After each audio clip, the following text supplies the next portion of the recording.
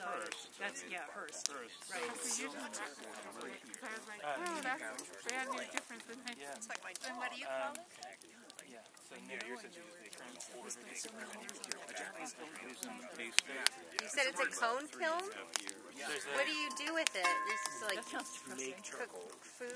How do you, you make charcoal? Yeah, so right now we're doing like a, we're gonna do a two-phase system, or right now we're just making charcoal for barbecuing. We have a little barbecue we're gonna fill up in a minute, and then we're gonna do, add the rest of Natura's pruning pile that we've gathered here, and then we'll do a bigger biochar production. So this is the mini preview. Oh. And I think it's about Can you ready. explain what biochar I'm, I'm gonna build barbecue. I'm gonna let Jared explain what biochar. is. Hi, Wade. so, um, this biochar is basically charcoal that you can produce from biomass materials, um, but it uh, can be used in agriculture. Uh, you can. Um, uh, so there's a few things uh, that happen uh, when you use it or generate it. So biomass was uh,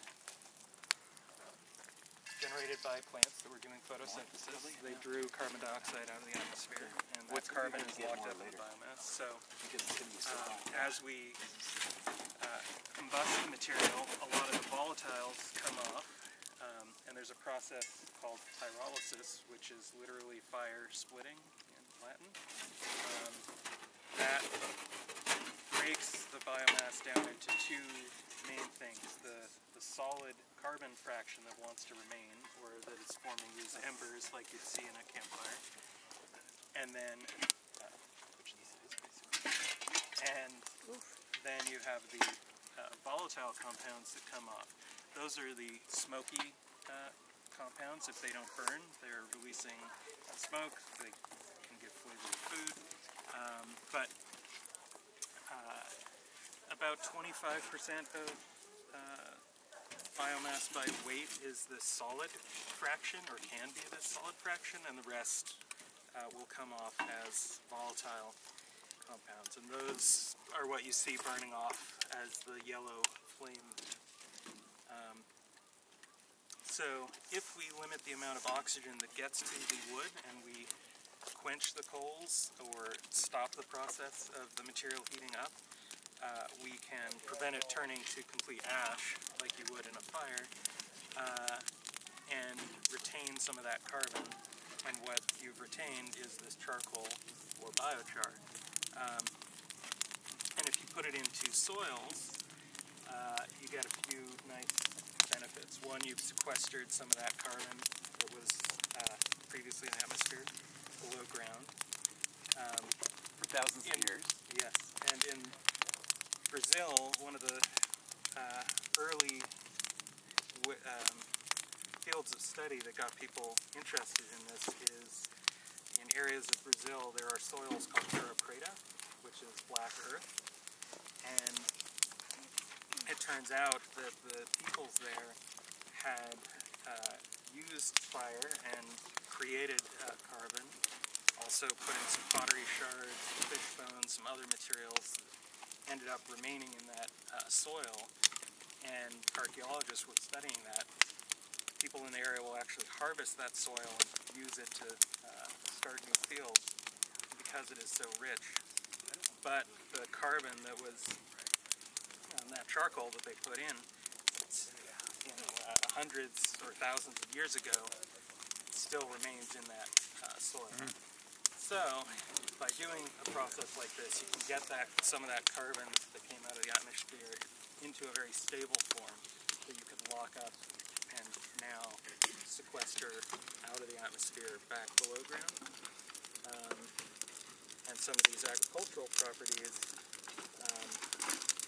are quite beneficial. So you're kind of getting a couple of benefits rather than like taking these other techniques where you're trying to extract carbon dioxide out of the atmosphere and maybe pump it into a reservoir below ground or do other things because you put so much into the atmosphere. Um, this is an interesting technique because you get agricultural benefits. Um, if you think of a, uh, like a Brita filter that you would use to uh, purify water, that's an activated carbon, often from coconut shell.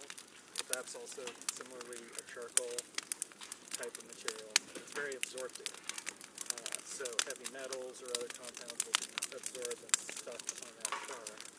Um, and similarly, if you put biochar in soil, various nutrients uh, will also cling to that carbon in the soil. And it will increase the capacity of the soil to hold nutrients. So then if you put manure or compost or other fertilizers onto the soil, it'll hold more of that. So when it rains, less of the nutrients will leach out uh, and uh, remain accessible to plants. Uh, it'll also improve the water retention of soil. Um, so improves drought tolerance. So is, it, is this a different quality of charcoal than if you were to go and buy a bag of charcoal? Not the briquettes, but the actual, you know, made in a kiln, I Yeah. guess it is. Is, it, is this different in some way? So there's different ways you can make uh, make biochar and uh, charcoal. Uh, so like if you go get hardwood char like Lazzari or others to make a barbecue, a lot of that is made in a retort. Uh, so in that system you basically fill a giant vessel with biomass and you heat it up initially and all these gases come off, often you can just take those and burn them around the outside of the vessel.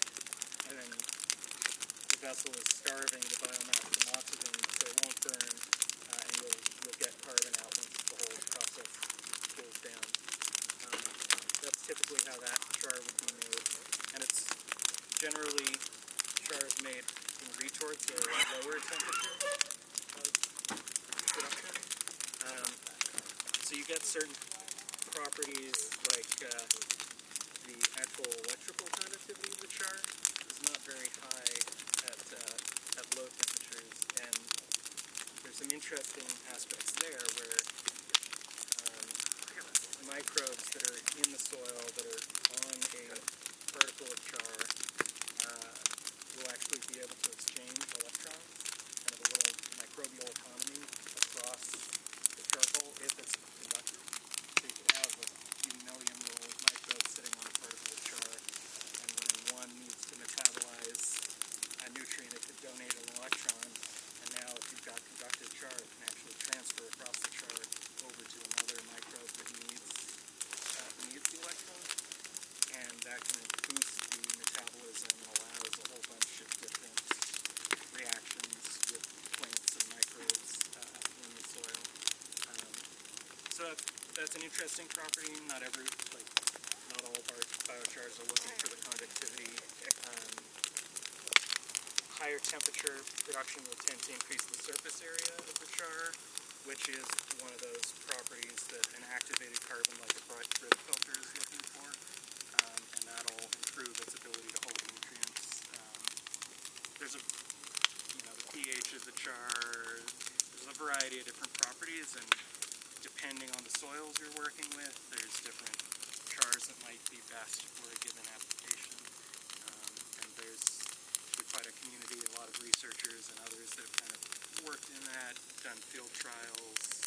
Uh, um, there's not like a singular, this is the best char for all applications. So it's just, it's just